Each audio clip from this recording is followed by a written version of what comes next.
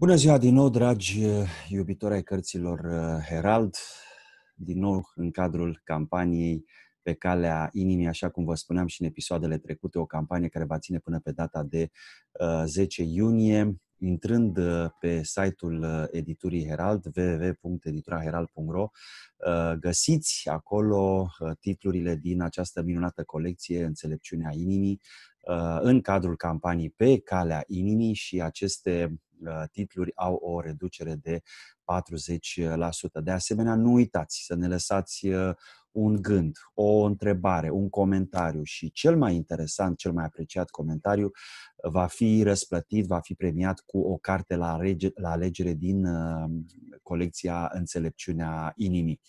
Uh, astăzi uh, vorbim alături de domnul profesor Teodoru Ghiondea despre o carte minunată. Este vorba despre Ibn Arabi, Cartea Înțelepciunii și am să vi-o arăt și la cameră, carte publicată în colecția Înțelepciunea Inimii, uh, cartea a cărei uh, traducere integrală o prezentăm acum, în cadrul acestei dezbateri, discuții, în cadrul ezoterismului islamic și în întregul univers tradițional are o funcție, am putea spune, de excepție.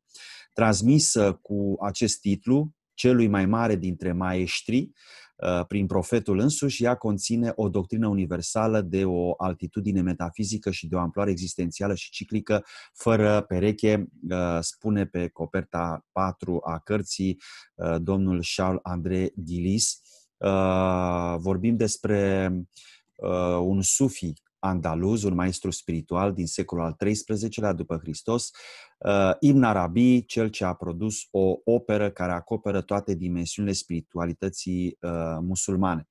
Uh, deci, Cartea Înțelepciunii, Ibn Arabi, o carte foarte dragă domnului profesor Teodoru Ghiondea și noi am mai discutat despre această carte Uh, se pare că în această colecție avem noi doi uh, preferați, este vorba despre Ibn Arabi și despre Rumi și cu alte ocazii am discutat uh, mult despre ei. Domnule profesor.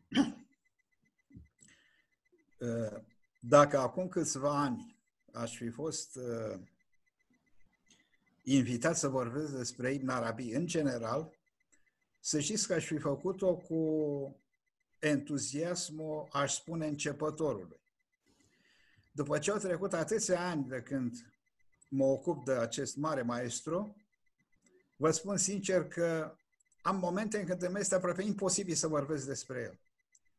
Complexitatea extraordinară, o amploare uh, asupra tuturor domeniilor spirituale, așa cum ați spus, o altitudine absolut unică, cărți care, pe care el le-a dictat Uh, sunt foarte puține scrise de mâna lui, le-a dictat discipolilor pentru că avea obiceiul să dicteze simultan 3-4 tratate odată. Uh, opera lui este imensă. Osman Yahia a scris chiar o carte, uh, Istoria și clasificarea operei lui Ibn Arabi. Este o carte impresionantă, de vreo 700 de pagini în care inventariază ce le separe peste 800 de tratate de textele maestrului. Cel mai mare dintre ele este uriaș. Este vorba de deschidere sau uh, Futuhat al-Machia, deschidere de la Mecca, o, un text uh, impresionant și ca volum, uh, Cred că sunt zeci de volume în, pentru acest tratat. E foarte greu de, de uh, fixat, cum să spun, o ediție uh, care să fie accesibilă cât de cât chiar celor avizați. Știți? Uh, 800, peste 800 de tratate recunoscute, vă dați seama că este foarte greu de cuprins așa ceva. Cartea lui, de care am spus, Futuhat al-Machia, este o prezentare completă și vă dați seama că folosesc un cuvânt extrem de prețios și de pretențios.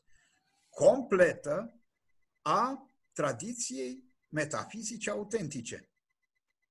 sigur, tema este partea, aș spune eu, cosmologică, prezentată dintr-o perspectivă metafizică. Dar capodopera, din punct de vedere doctrinar, aș spune eu, al viziunii metafizice, rămâne ceea ce dumneavoastră ați prezentat, și anume această carte înțelepciu- a înțelepciunii, care ea, în original se numește Fusus al Hikam și ar trebui să și explicăm uh, acest titlu. Înțelepciunea divină este uh, simbolizată de o piatră prețioasă. Această piatră prețioasă, ea în sine este inabordabilă. Pentru a fi abordabilă, pentru a fi accesibilă, ea trebuie să capete o formă. Această formă este simbolizată de niște inele. Și un inel care are o piatră prețioasă are și o montură, adică o parte a inelului în care este prinsă această piatră prețioasă. Fusus înseamnă, este pluralul de la fas. Fas este chiar această montură a, a inelului, care prinde piatra prețioasă de inel. Ce înseamnă asta? Este o carte în care sunt prezentați și 27 de profeți a islamului, fiecare din profet, din profeți, reprezintă o fațetă a acestei înțelepciuni. Titlul este minunat. Titlul este minunat. Prin urmare, atunci când eu am tradus cartea integrală, pentru că ceea ce prezentăm noi cititorului este o selecție pe care a făcut-o Titus Burhard, o selecție din cei 27 de profeți. Însă avem și ediția completă pe care am terminat-o de tradus acum circa două săptămâni, în traducerea din limba arabă a lui Charles André Gillis, aș spune cel mai important uh, exeget și maestru, nu mă fie să o spun, da? în aria europeană a uh, sufismului și cu comentariile dânsului. Uh, cartea este universal, așa cum ați sugerat de la început. Și ceea ce este cu totul surprinzător pentru uh, toți cei care fac parte din uh, tradiția abrahamică, găsesc acolo profeții din Vechiul Testament. Nu toți. Mai sunt și doi, trei profeți care nu apar în Tora, adică în Vechiul Testament, și care sunt specifici cum ar fi Shoaib, de exemplu, care sunt specifici tradiției islamice.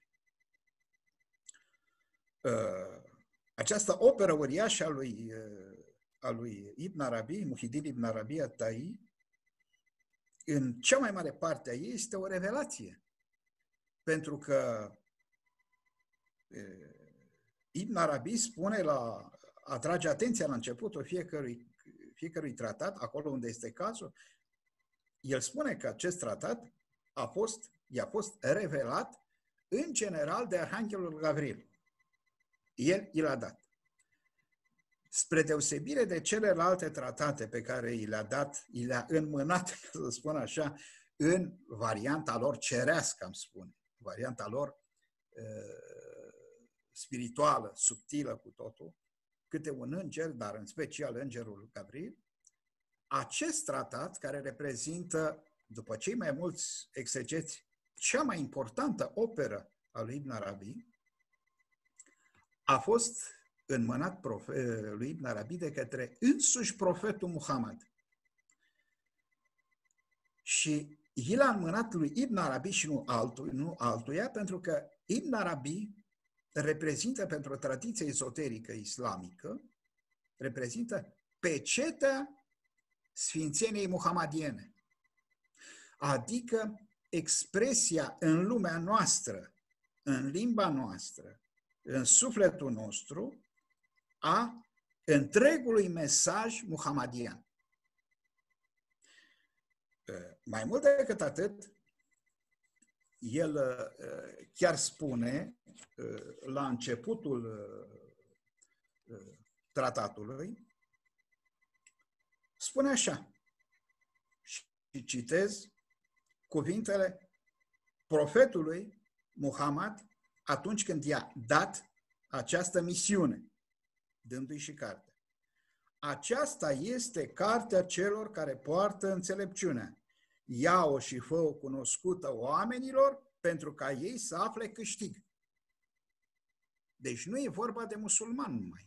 E vorba de toate tradițiile. Există o tradiție care circulă greu, pe care eu am găsit-o destul de târziu și în care se spune că în tradiția hindusă există un, o relatare că au fost brahmani importanți și maestri spirituali importanți care au afirmat că o parte din textele sacre hinduse au fost transmise chiar de Avram. Chiar de Avram. Adică Ibrahim, tradiția abrahamică, părintele tradiției abrahamice. Asta arată gradul cert de universalitate a acestei cărți. Primul și ultimul, cei doi profeți care, cu care se deschide tratatul și cel cu care se închide tratatul, este vorba de Adam și Muhammad, sunt, evident, primul profet, este considerat profet Adam, și ultimul profet din ciclul nostru de umanitate, profetul Muhammad. Uh, am spus că Ibn Arabi este considerat, în afară de apelativul Sheikh al-Akbar, adică cel mai mare maestru, este considerat pecetea Sfințienii Muhammadiene. Prin urmare, ceea ce el a scris și ceea ce el ne-a transmis nu este rodul nici al imaginației, nici al geniului său. Este o misiune spirituală cu caracter în special pentru cartea noastră, cu caracter escatologic. Așa cum ați citat, chiar din ceea ce spune în introducere Charles André Gilis, uh, Ibn Arabi mai are un nume inițiatic și numele lui este sulfur roșu și lumina albastră. Al kebritul ahmar wa nurul ashar. Sulfur roșu reprezintă un grad mare, foarte mare de inițiere, lumina albastră reprezintă realizarea integrală și, în același timp, realizarea descendentă, cum spune René Guénon. Vedeți, iarăși îl amintim pe René Guénon. Uh, acest uh, volum complet de care eu am amintit, cu toți cei 27 de profeți, adică ediția completă, împreună cu comentariile lui Chandra Andrei Gilis, reprezintă fără îndoială o achiziție, aș spune eu, pentru lumea noastră, pentru lumea de astăzi, cu totul excepțională. Evident că există și un capitol despre Isus, despre Saita Isa. Sunt foarte mulți profeți, Moise, David și așa mai departe.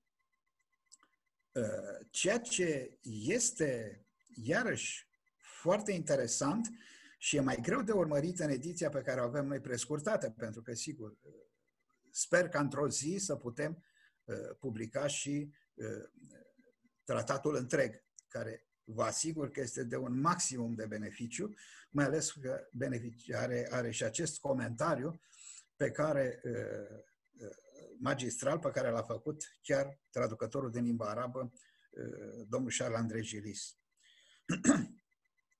Uh, Ibn Arabi are multe cărți care susțin, colaterale, care susțin acest fusus al hikam, această carte a înțelepciunii.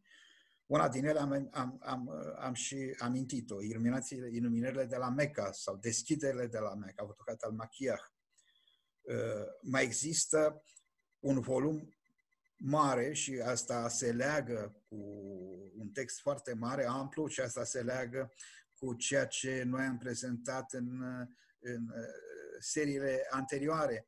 Uh, există o carte care se numește Interpretul uh, dorințelor arsătoare, Tarjumara la șoac, în care poezia, poezisul, poezisul își împlinește funcția lui spirituală maximă.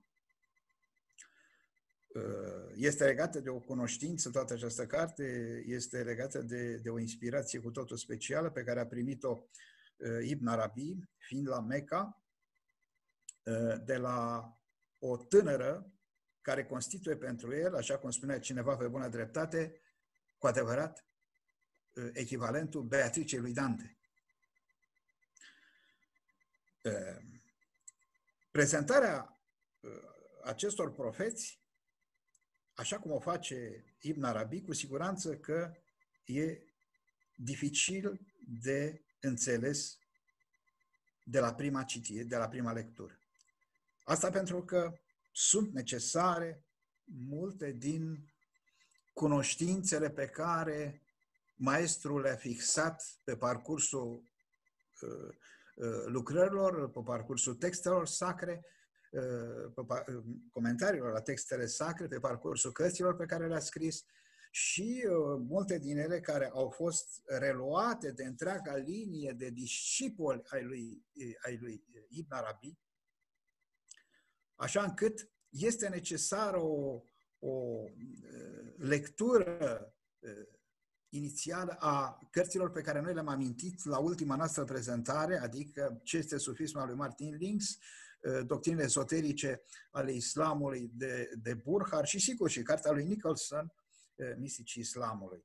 Sunt o serie întreagă de, de, uh, de concepte fundamentale pe care trebuie să le stăpânești atunci când citești cartea aceasta. Dar, sigur, volumul așa cum a fost conceput de tradus și aranjat de, de editura Herald, ajută prin note, ajută prin prin, chiar prin traducerea pe care a ales-o. Mă refer la Titus Burhard. Am vorbit de el uh, acum câteva prezentări, am vorbit de Titus Burhard.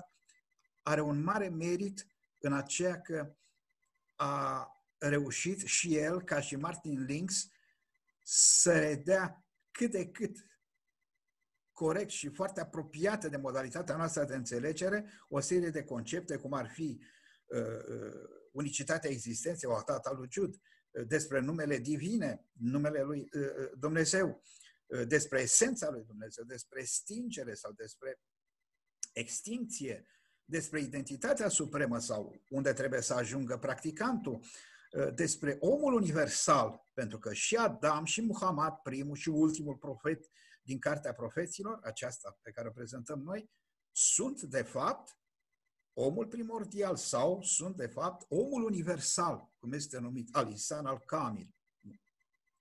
Și el apare în tradiția, de exemplu, uh, Cabalei, uh, ca fiind Adam Cadmon. Adam cel primordial. Nu. Uh, mai este un concept important pe care trebuie să-l înțelegem când citim această carte și acesta este cel de creație de fiecare clipă. Halk Jadid, Adică, spune maestru, lumea n-a fost creată odată pentru totdeauna și așa a rămas. Ea este creată în fiecare clipă. De ce? Pentru că principala calitate a acestei lumi, în principala însușire a creației, a manifestării, este aceea de a fi trecătoare, aceea de a fi perisabilă, de a trece. Și atunci Dumnezeu o susține printr-o creație de fiecare clipă. Ce înseamnă asta? Asta înseamnă că întreaga univers, manifestare universală este o moarte și o înviere de fiecare clipă. Este o moarte și o geneză de fiecare clipă. Pentru asta și practica spirituală a unui uh, uh, discipol, a unui murit, a unui a celui care dorește să meargă pe calea spirituală spre desăvârșire până la identitatea supremă, nu? trebuie să parcurgă aceeași modalitate de devenire și anume să moară în fiecare clipă și să renască în fiecare clipă. Ibn Arabi o spune admirabil la un moment dat, spune așa, referitor la Domnul Isus, spune, fiecare din noi are în el pe Mariam, pe Sfânta Fecioară, și pe Said Naisa, pe Domnul Isus.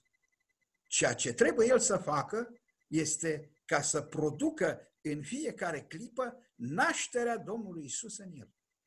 Exact așa o spun. Și aș mai face o precizare care cred că este de mare importanță pentru toți cei care sunt uh, interesați de uh, sufism, de tasauf. Spune undeva într-unul din, uh, din lucrările sale, spune așa Ibn Arabi. Toți marii învățați, toți marii maestri spirituali, importanți, au fost la piciorul lui Said Naisa, la piciorul Domnului Isus. Asta este o expresie prin care el arată că majoritatea sunt hristici. Majoritatea sunt hristici. Uh, este cu totul excepțional. Noi am mai vorbit de altfel despre legătura între profetul Muhammad și uh, Domnul Isus. Nu e prima dată când amintim lucrul ăsta. Uh, mai mult decât atât, aș îndrăzni să reproduc un hadith, o, o, o formulare sapiențială și despre, care... și despre cultul mirianic din Coran am vorbit. Oh, sigur că da. Este un, un hadith pe care îl amintește Hujuiri, un mare maestru, dar care este foarte rar preluat și o să vedeți de ce. Pentru că acest hadith sună în felul următor. Profetul Muhammad a spus, eu sunt singurul care am dreptul să mă reclam de la Said Naisa, de la Domnul Isus. E formidabil hadithul. Asta ce arată? Că acea continuitate asupra căreia noi am insistat atât de mult de fiecare dată, nu este o exagerare, nu este o invenție a noastră, nu este o concluzie a noastră. Este un fapt, este un act fundamental, esențial, efectiv, al tradiției primordiale, care se continuă în toată tradiția abrahamică cel puțin. Ori vă dați seama dacă profetul Muhammad spune asta. Asta este un temei și pentru, pentru cartea pe care noi o prezentăm. Ceea ce înseamnă că legătura aceasta între creștinism, ă, iudaism și islam este atât de puternică încât ea nici nu se oprește la tradiția abrahamică. Ea ne împinge mai departe ca să avem considerație și deschidere pentru toate tradițiile, și pentru hinduism, și pentru taoism, și confucianism, și pentru budismul zen, și, mă rog, și pentru alte tradiții care sunt ceea ce sunt. Uh, este foarte important cum înțelegem această succesiune de profeți. De ce? Pentru că, sigur, nu se pot reduce, înțelepciunea lui Dumnezeu nu poate fi redusă doar la 27 de aspecte. Dar ele sintetizează de fiecare dată tot ceea ce se poate exprima, tot ceea ce se poate afirma, tot ceea ce se poate manifesta din înțelepciunea divină, cu diferite accente. Vedeți? Piatra aceasta uh, prețioasă este una singură. Uh, faptul că o vedem sub diferite aspecte, sub diferite fațete, asta presupune schimbarea de perspectivă. Ăsta este unul din marile privilegii pe care le ai când citești această carte. Te învață să schimbi perspectiva. Ori nu pot să uit ceea ce spunea un alt maestru pe care noi cu toții îl cunoaștem din cele scrise, da, și anume Vasile Lovinescu, care spunea că măsura capacității intelectuale este capacitatea de abordare a cât mai multe, a, a cât mai multor aspecte a cât ori mai multe perspective din care să fim capabili să evaluăm just, să evaluăm corect și cu luciditate, cu discernământ și cu responsabilitate spirituală o, un anumit, o anumită fațetă a adevărului. De asta spun că ă, este o carte care ne deschide foarte mult perspectiva asupra, ă, cel puțin asupra tradiției abrahamice și am spus-o și dați-mi voie să o repet cu scuza de rigoare, Uh, refuz să cred și un lucru pe care l-am afirmat de multe ori pentru că eu cred cu tărie în el, toți cei care suntem creștini, musulmani, în fine, iudei, evrei, mă rog, uh, mozaici, avem această deschidere totală, uitându-ne unii la alții și înțelegându-ne unii pe alții. Nu putem să facem abstracție de asta.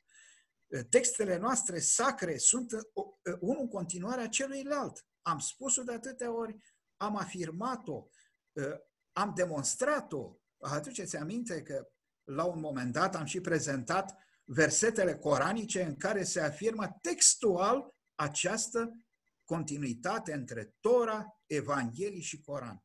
Prin urmare, este o datorie a oricărui credincios, chiar dacă nu are capacitatea intelectuală să înțeleagă toate subtilitățile și toată învergura, dar sintetic, el trebuie să se simtă părtaș a acestei tradiții complete, care este tradiția abrahamică.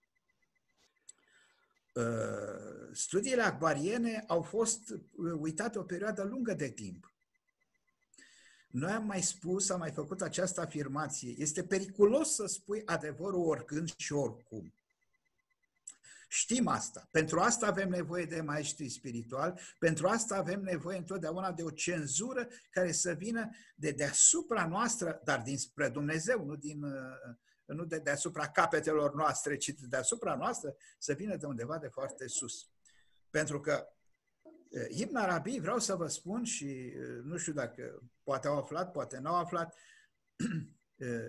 cititorii noștri, Ibn Arabi a, fost aju- a ajuns la un moment dat să fie interzis printr-o hotărâre de parlament în Egipt. La un moment dat. Și este meritul lui Najmuddin Bamate, și a Universității Al-Azhar de la Cairo, care a insistat să înceteze această aberație, această, această anormalitate. De ce? Pentru că era considerat foarte dificil și periculos pentru cei care nu pot înțelege. Uh, știți, nu pot să... Uite, apropo de Egipt și că lucrurile sunt legate de libertatea de conștiință și de libertatea noastră de modul în care noi înțelegem această libertate. Libertatea religioasă presupune o obligație fundamentală, aceea a respectului, față de orice altă tradiție în afară de tradiția noastră. Presupune nu numai respect, presupune înțelegere și fraternitate. Nu putem, de exemplu, creștini fiind, să repetăm cuvintele Domnului Isus, să repetăm cuvintele Sfintei Scripturi, că să ne iubim aproapele ori aproapele nu înseamnă nici măcar orice om care e aproape de mine, înseamnă orice este apropiat pentru că este creația lui Dumnezeu. Și atunci, cum poate cineva care, se, care pretinde că este credincios, care afirmă că este credincios, să ignore tocmai datul acesta prin revelație pe care Dumnezeu îl dăruiește oamenilor pe care i-a creat și pe care nu i-a lăsat, cum să spun eu, în plata Domnului. Ne-a lăsat în vânt, pur și simplu. Și le-a dat posibilitatea, vedeți, prin diferite, în această continuitate, cartea aceasta apare, fiind islamul fiind ultima revelație din ciclul nostru de umanitate, este prin Ibn Arabi, este, cum să spun, o vivificare a tradiției abrahamice și care este cu mare ca lectură, cartea, este de un mare folos pentru oricine, dar eu aș spune pentru că trăim într-un mediu creștin, pentru orice creștin care sigur că nu poate să nu iubească ceea ce Dumnezeu lasă și ceea ce Dumnezeu dăruiește. Dragii noștri, am vorbit astăzi alături de domnul profesor Teodoru Ghiondea despre o carte minunată, așa cum spunea și domnia sa, Cartea Înțelepciunii Ibn Arabi în colecția Înțelepciunea Inimii a editurii Herald. Uh, nu uitați de campania Pe calea inimii uh, până pe data de 10 iunie. Intrând pe site-ul editurii Herald, www.edituraherald.ro, găsiți acolo uh, titlurile din această colecție cu o reducere de 40%. De asemenea, nu uitați să ne lăsați la aceste Uh, postări, la aceste înregistrări uh, ale rubricii Cărți deschise pentru minți deschise, un uh, comentariu, un gând sau o întrebare. Cel mai apreciat comentariu va fi premiat cu o carte la alegere din colecția Înțelepciunea Inimii. Noi vă mulțumim foarte mult și eu și domnul profesor Teodoru Ghiondea pentru atenția dumneavoastră și sperăm că domnia sa v-a oferit informații foarte prețioase. O carte extraordinară, vi-o arăt încă o dată la cameră, Cartea Înțelepciunii Ibn Arabi în colecția Înțelepciunea inimii din portofoliul editurii Herald. Vă dorim o zi minunată în continuare și lectură plăcută. La revedere!